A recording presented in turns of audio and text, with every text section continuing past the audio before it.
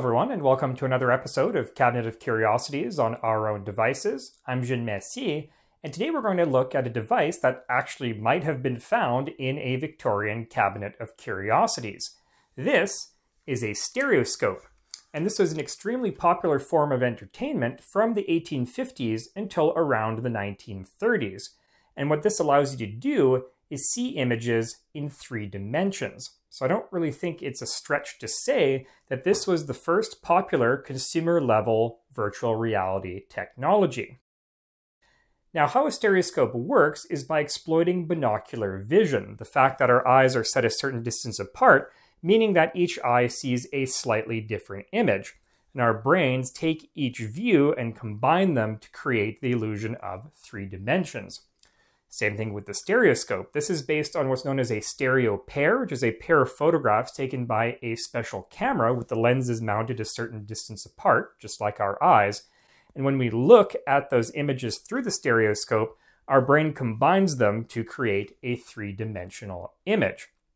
Now, despite the fact that this is a very simple device and that the principle behind it is well known to us today, it wasn't until 1832 that the first stereoscope was invented by a gentleman named Charles Wheatstone, who you might have heard of before.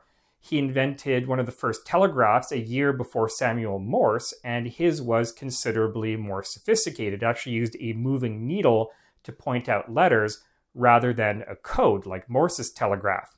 Uh, if you're into electronics, you probably have heard of the Wheatstone bridge, which is a circuit used to determine the resistance of another circuit.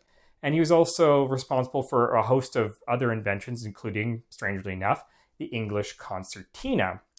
Now, Wheatstone's first stereoscope consisted of a pair of angled mirrors with the stereo pair mounted at either end so that they were reflected into your eyes. One eye saw one reflected image, the other eye saw the other, and, as with all stereoscopes, your brain combined them into three dimensions.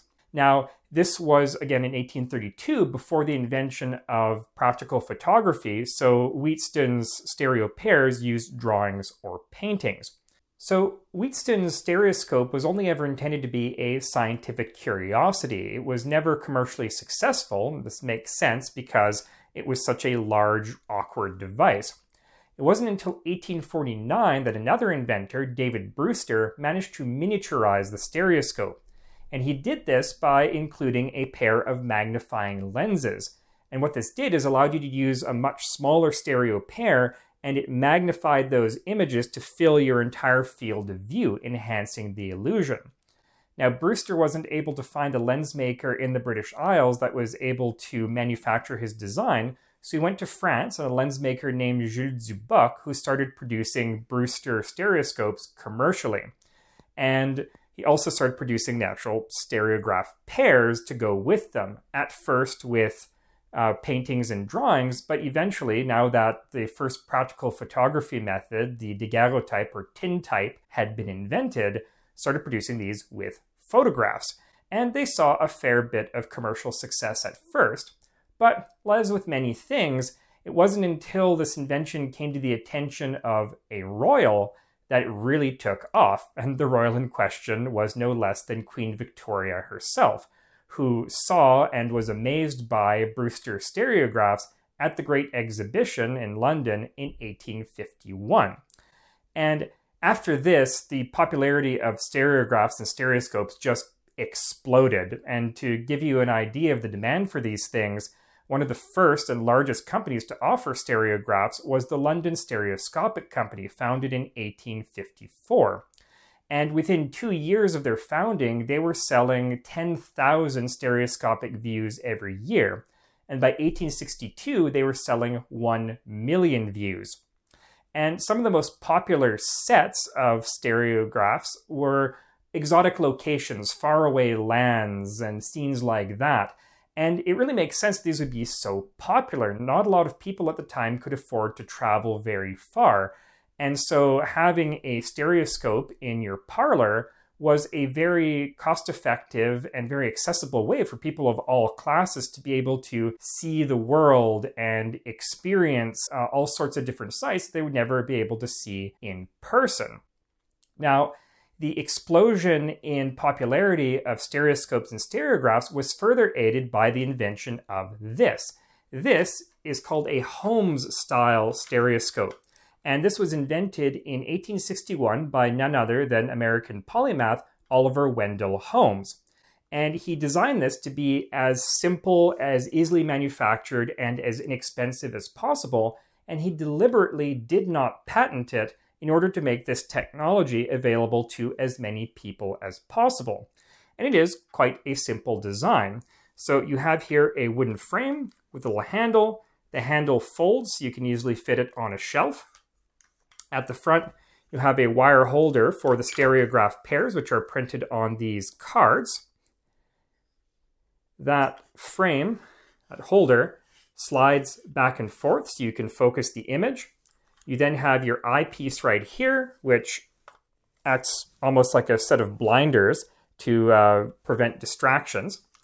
You have a set of magnifying lenses, which, as I said before, magnifies the image so it fills your entire field of view. And finally, you have a divider in the middle, which prevents each eye from seeing the opposite image, the image it's not supposed to see, and further enhances the function of the device.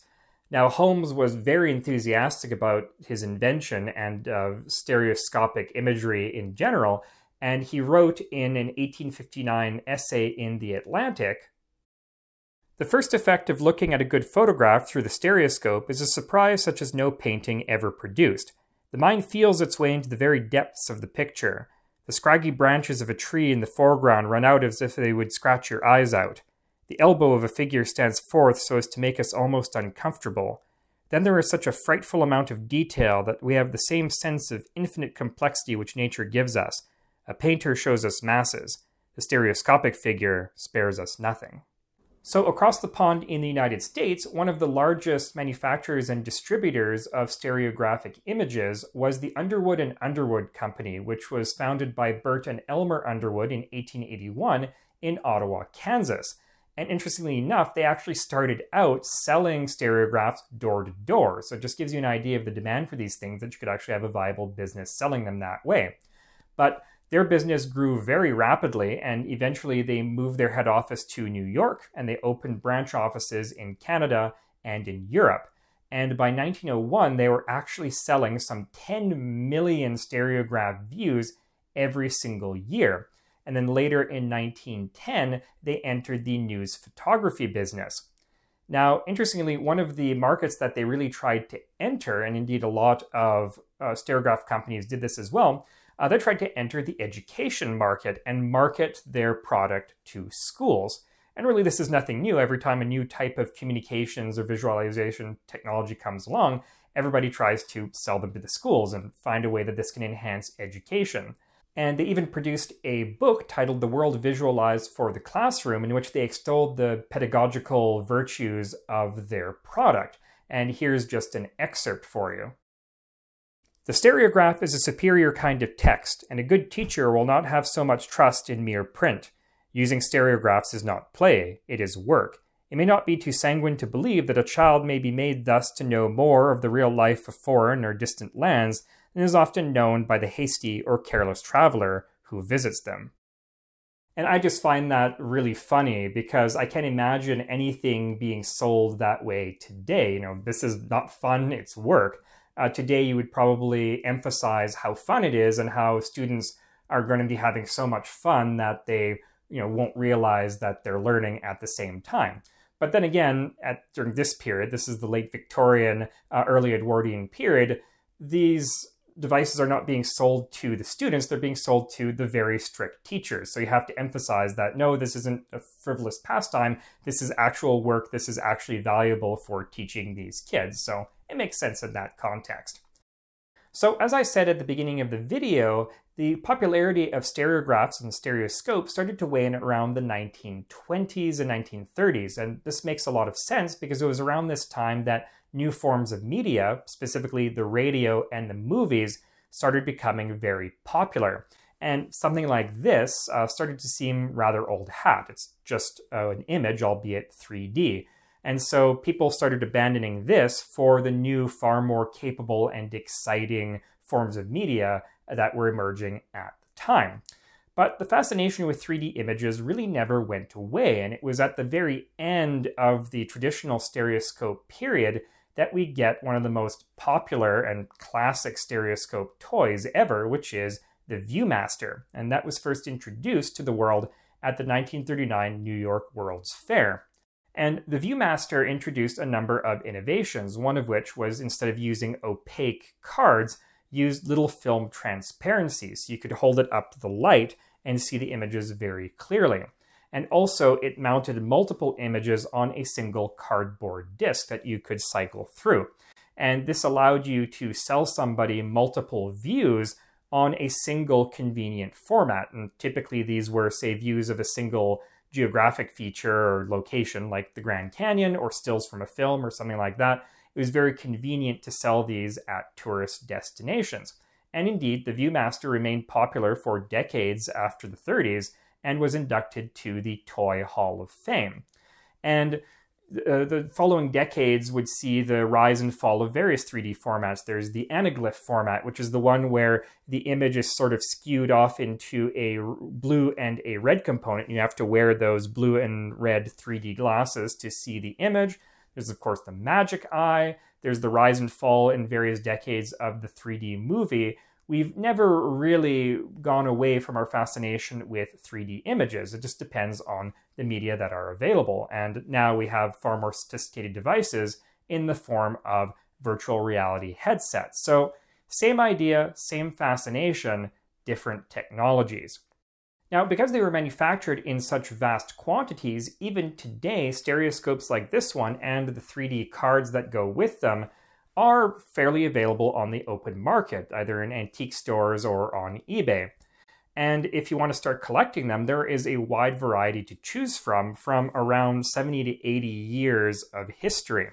And if you want to know when they were manufactured, if it's not printed on the card itself, there's a general rule of thumb that if the cards are perfectly flat, they were likely manufactured between 1857 and 1890.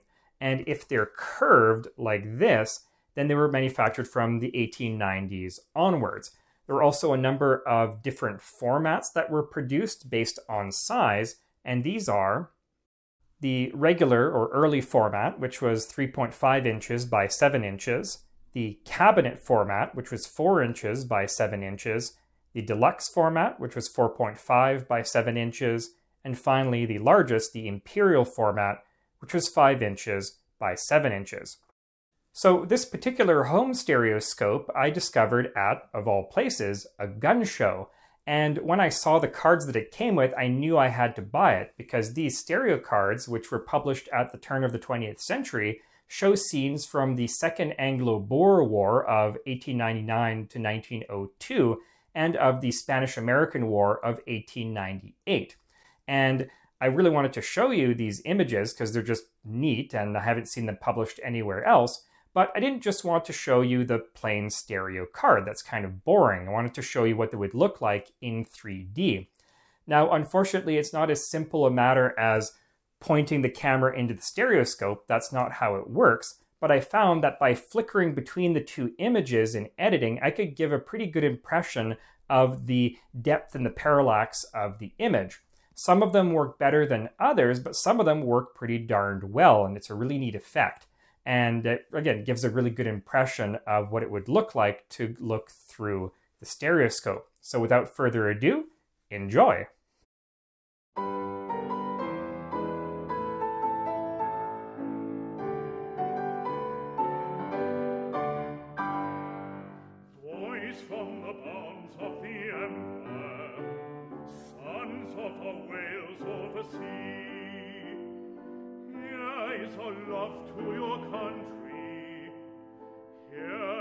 Godspeed to ye, dear to the heart of your mother, blessed of your brothers in need. Ye are the pride of the nation, ye are the flower of her seed. Sons of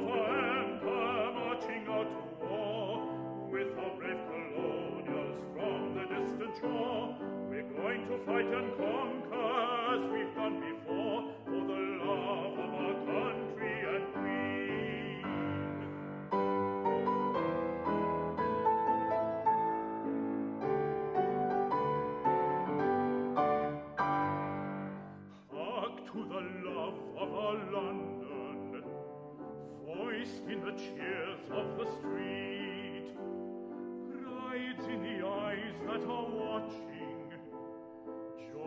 in the quickened heartbeat. All for the boys who are marching, gaily for empire and queen, ready to die for our honor, sturdy and fearless of mien.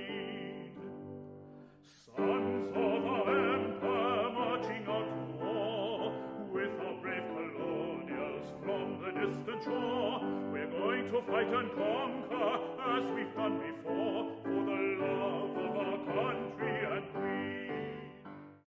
So I hope you enjoyed that. I thought that was a really neat effect, a really interesting way of seeing those images, sort of the way that they were intended to be seen.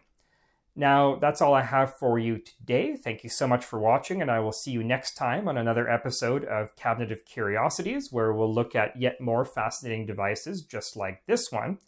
And for those of you who might be wondering where my trademark gray three piece suit went, unfortunately, a couple of days ago, it was stolen. I had it in my car intending to take it to the dry cleaners, and one day it just vanished. And I'm very sad about that. I absolutely loved that suit. Uh, but in the meantime, I'm going to be wearing this, my second favorite suit jacket, which is authentic 1940s that I picked up in Portland a couple of years ago. Anyways, I'm Jean Messier from Our Own Devices. Have a great day.